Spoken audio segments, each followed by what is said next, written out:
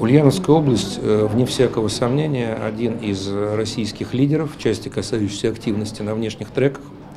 И эта активность, что очень важно, э, не носит э, такого туристически познавательного характера. Это совершенно прикладные проекты, которые нацелены на решение проблем, с которыми Ульяновская область в своем развитии сталкивается, как и любой другой субъект Российской Федерации. Из вот этих внешних связей, из проектов международного сотрудничества появляются э, дополнительные рабочие места, приходят новые технологии, приходят новые инвестиции, и э, тем самым, конечно же, Ульяновская область становится примером для подражания, в чем мы сегодня убедились на заседании нашего комитета. И э, мне также очень импонировало то, что э, наши коллеги, наши сегодняшние гости из Ульяновской области э, сосредотачиваются не только на том, чтобы решать, собственно, проблемы Ульяновской области, они в состоянии смотреть шире, видеть дальше. И мы услышали сегодня много интересных идей и предложений по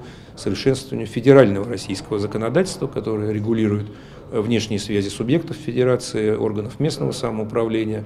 Э, дискуссия показала, что варианты решения этих проблем достаточно э, многочисленны, но вклад Ульяновской области несомненен, и в конечном итоге то, что будет приниматься здесь, на федеральном уровне, в Федеральном собрании Российской Федерации, разумеется, будет учитывать все конструктивные предложения Ульяновской области. Константин Васильевич, как вы относитесь к инициативе сенатора Тимофеевой провести расширенное заседание выездное? в рамках форума «Японская весна на Волге» в Ульяновской области? Но признаюсь, что э, вряд ли это получится в этом году. У нас уже на э, текущую сессию график выездных заседаний э, сформирован, но сама по себе идея мне нравится, и я уверен, что если не в этом, то в следующем году мы ее обязательно реализуем. еще один вопрос, Константин Васильевич. Скажите, пожалуйста, что вы могли еще порекомендовать в Ульяновской области, чтобы быть еще активнее на этом поприще международных связей?